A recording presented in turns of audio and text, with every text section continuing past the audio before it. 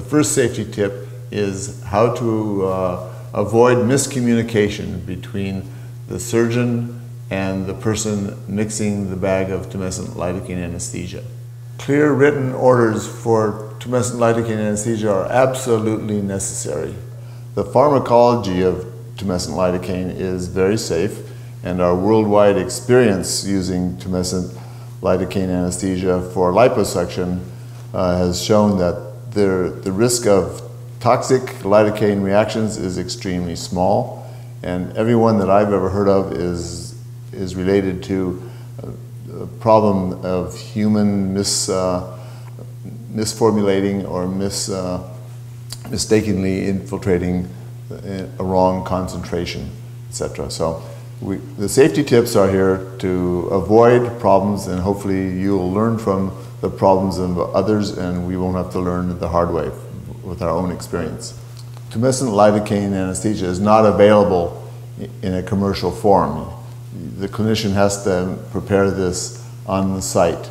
Uh, the consists of tumescent lidocaine anesthesia consists of lidocaine, uh, such as this, uh, about 100 ml of 1% lidocaine equals one gram of lidocaine. There's epinephrine in this already, so there's one 100 milliliters of this will give you uh, one gram of lidocaine and one milligram of epinephrine. Put that in a liter bag of saline, and we'll add some uh, bicarbonate, about 10 milliequivalents of bicarbonate. So in all, we've mixed uh, some drugs in a bag of saline, and that will be the, the upper limit of the concentration used for tumescent lidocaine anesthesia. You can reduce that concentration by putting less lidocaine in there. Um, or you, in certain cases, you might want to increase the dosage, but all of our research is based on the maximum concentration of a gram of lidocaine per liter but it's uh, very important that it's very clear, written, legible orders describing exactly the concentration, the volume that needs to be put into each bag of saline.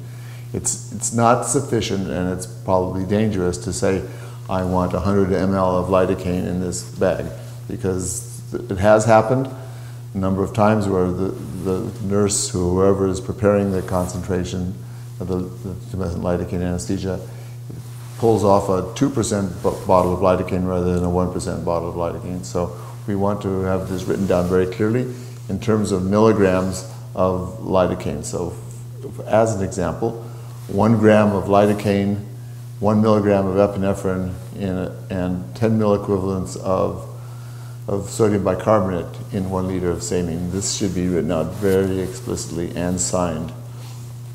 Uh, that's absolutely uh, unambiguously uh, a, a, requirement for safe tumescent lidocaine anesthesia.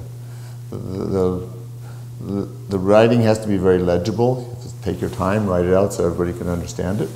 Um, again, should, everything should be written in terms of milligrams of lidocaine, milligrams of epinephrine, and milliequivalents of sodium bicarbonate. It's not sufficient and it's dangerous to write volumes. You don't want to put 100 ml of lidocaine. That's a source for confusion.